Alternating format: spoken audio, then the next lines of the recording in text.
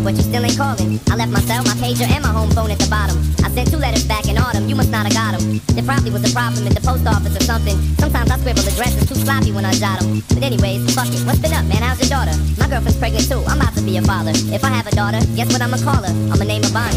I read about your Uncle Ronnie too, I'm sorry. I had a friend kill himself over some bitch who didn't want him.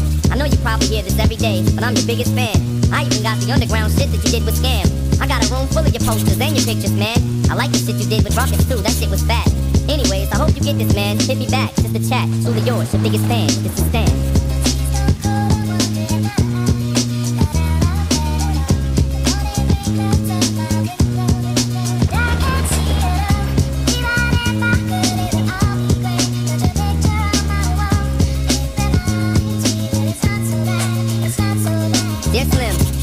Called a road. I hope you have a chance. I ain't mad. I just think it's fucked up you don't answer fans. If you didn't want to talk to me outside the concert, you didn't have to. But you could have signed an autograph for Matthew. That's my little brother, man. He's only six years old. We waited in the blistering cold for you. Four hours and you just said no. That's pretty shitty, man. You're like his fucking idol. He wants to be just like you, man. He likes you more than I do. I ain't that mad, though. I just don't like being lied to. Remember when we met in Denver? You said if I write to you, you would write back. See, I'm just like you in a way. I never knew my father neither. He used to always cheat on my mom and beat her. I can relate to what you're saying in your songs. So when I have shitty day, I drift away and put them on. Cause I don't really got shit else. So that shit helps when I'm depressed. I even got a tattoo with your name across the chest.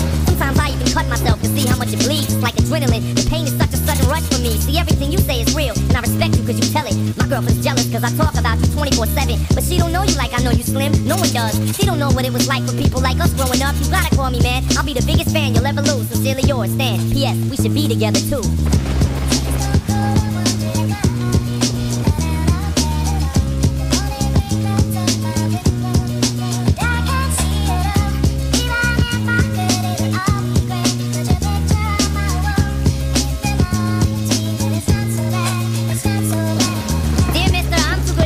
Write my fans.